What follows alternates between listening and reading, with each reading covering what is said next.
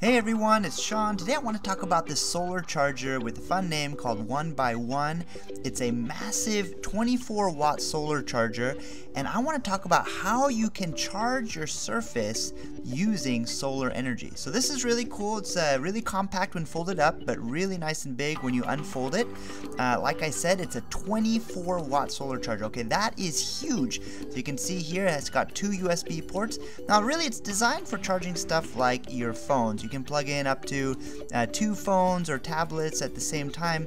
And of course, you can just, uh, you know, put your phone inside and uh, keep it nice and safe while it's charging. One of the things they're really proud of is how efficient their solar cells are with 22 plus percent, which is actually pretty good.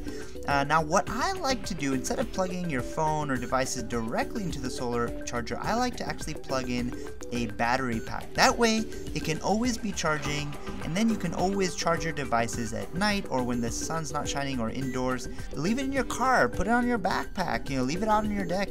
Just leave it out in the sun and let it charge your battery pack. So first of all, you might be thinking, well, how can I charge my Surface with a USB, micro USB? It does not work. The port is the wrong port. But that is actually where the battery pack comes in because this battery pack I show here, you can see the link in my video description, actually is able to charge a Surface. So more on that a little bit later, but for now, what's important to know is that your solar goes into your battery and your battery charges your surface. So now whenever your surface is not plugged in, you can just have your battery pack charging all the time in the sun, whether it's in the car or whether it's on your backpack or wherever it may be.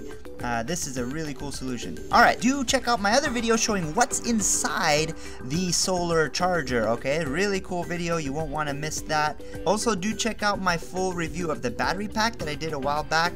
Uh, really cool, I, I, tested it, I reviewed it, uh, showed you, you know, how you can make the most out of it.